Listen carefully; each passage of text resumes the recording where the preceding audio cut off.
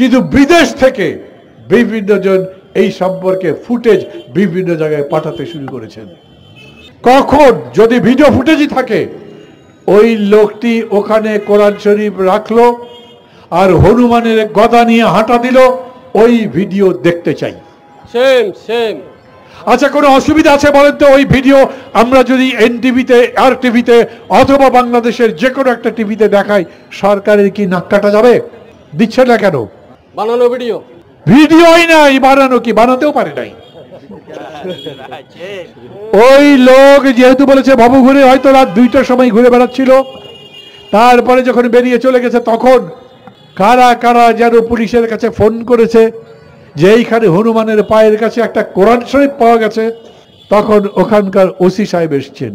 OC সাহেব আসবার পরে আমরা যেটা দেখলাম ফেসবুকে ভিডিওতে দেখলাম ওসির বগলের নিচে কোরআন শরীফ, ডান হাতে তার একটা মোবাইল সেট অথবা ওয়াকি টকি উনি কথা বলছেন আর সামনে কিছু লোক ভিডিও করে সেগুলো ফেসবুকে ছাড়ছে। ওই ফেসবুকে আহ্বান জানানো হচ্ছে, দেখুন, কোরআন শরীফের উপর অবমাননা করা হয়েছে। মুসল ভাইয়েরা জাগুন, প্রতিশোধ দেন। পুলিশ এরকম করে কখনো দেখেছেন? একলা একলা ওসি গেল কেন? থানার পুলিশ পরে বিজ্ঞপ্তি দিয়েছে যে আমাদের কাছে কোনো গাড়ি ছিল না, রাত তিনটায় আমাদের গাড়ি নাই। আরে সরকার পুলিশকে এত কিছু দিচ্ছে। এত গাড়ি দেয় ওয়াকি টকি দেয় বিল্ডিং বানায় লাইটিং করে, অথচ রাত্রে তিনটার সময় কুমিল্লা সদরের থানার ফাঁড়ির তারা কেউ গাড়ি পেল না। একটা সিএনজিতে নিয়ে এক লাখ ওসি সাহেব চলে গেল। এবং উনি যে গেলেন, যাবার আগে সাধারণত আমরা কি করি? আমরা দেখি পুলিশ পুরা এলাকা ঘেরাও করে। দেখেছেন না? বাইরে থেকে লোক ঢুকতে দেয় না, সাংবাদিকদের ঢুকতে দেয় না। সাংবাদিক জিজ্ঞেস করলে বলে, আমরা যথাসময়ে আপনাদেরকে সমস্ত পরিবেশ সম্পর্কে, অবস্থা সম্পর্কে বিশদ বর্ণনা দেব। কিন্তু ওই পুলিশ ওখানকার কিচ্ছু করেনি।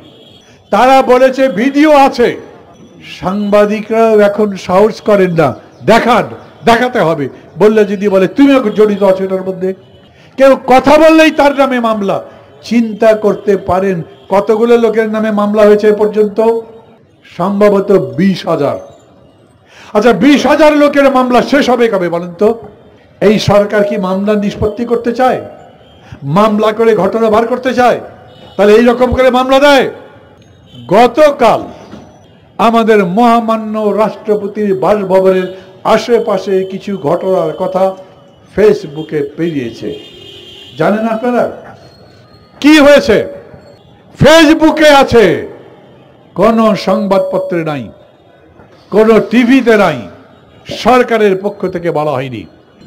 যেদিন বাংলাদেশ স্বাধীন হলো, সেদিন বাংলাদেশে হিন্দু মোট কত শতকরা এই দেশে বাস করত, আর আজকে হিন্দুর সংখ্যা কত সেটা বলেন।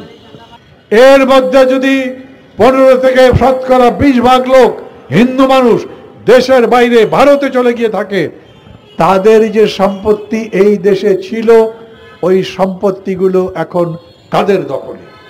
শতকরা নব্বই ভাগ সম্পত্তি দখল করেছে আওয়ামী লীগের লোক। এরা হিন্দুদের উপরে অত্যাচার করেছে। সংখ্যা লঘিষ্ঠ লোকের উপরে অত্যাচার করেছে মা বোনের উপর অত্যাচার করেছে তাদের সম্পত্তি দখল করেছে এবং এই যে কমিউনাল রাইট বলে সাম্প্রদায়িক রাইট বলে আসলে এরাই ওদেরকে ভয় দেখায়। এখানে থেকে কি করবে? কবে যেন বিএনপি তোমাদের উপরে হামলা করে কবে যেন জামাত ইসলাম তোমাদের উপরে হামলা করে কবে বিরোধী দল তোমাদের উপরে হামলা করে তার চাইতে চলে যাওয়াই ভালো। ওদের একটাই উদ্দেশ্য সংখ্যালঘিষ্ঠ কমিয়ে দিবে, সব জমি দখল করবে। এই ইকবাল হোসেন মার্কা কাহিনী বাদ দেন। যে লোক একটা ভব ঘুরে, যার মা বলে যে দশ বারো বছর ধরে সে তো খালি মদের উপর থাকে, নেশাখোর। আর পুলিশ যার পরিচয় বলে ভব ঘুরে, ভ্যাগাবান, কোনো কাজ নাই। সেই লোক একটা কোরআন শরীফ হনুমানের পায়ের নিচে ছাপ রেখে দিয়েছে, ওরা বলছে, ভিডিও আছে আমাদের কাছে। এই সভায় এইখানে দাঁড়িয়ে এর আগে আমি দাবি করেছিলাম। আজ আবার দাবি করছি। বৃষ্টির বেশি বাড়িতে, হিন্দুর বাড়িতে অগ্নিসংযোগ হয়েছে। অভিযোগ কি? হচ্ছে, একটি যুবক, সে নাকি কোরআন অবমাননা করেছে। এর আগে বরিশালে হয়েছে। সব জায়গায় হচ্ছে, প্রতিদিন হচ্ছে। বাংলাদেশ কি এমন একটি দেশ যেখানে শুধু হিন্দু যুবকেরাই কোরআন অবমাননা করার সাহস পায়, একটা শিশুও বোঝে যে এগুলি ছোট মাত্র একটি অজুহাত মাত্র।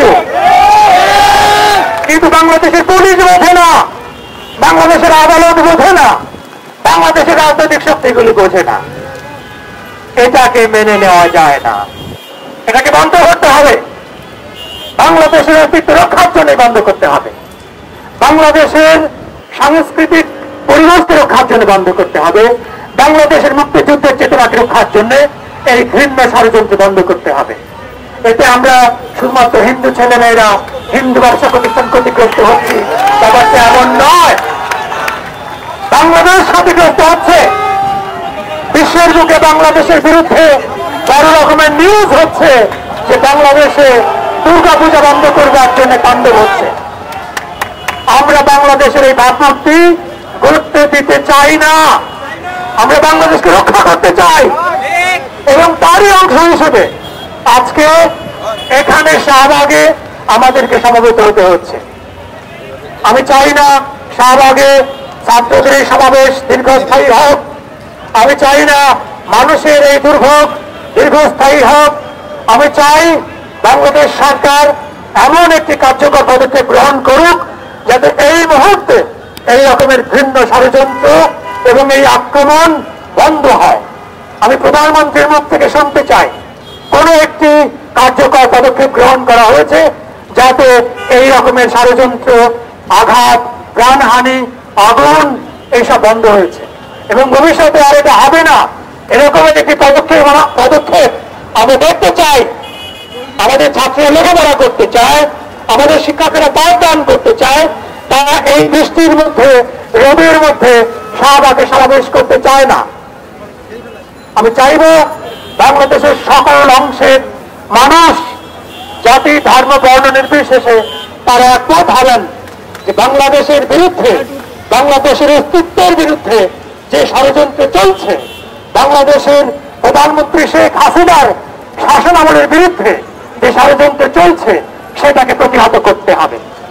এবং তার অংশ হিসেবে সকল স্তরে প্রতিবাদ অব্যাহত রাখতে হবে।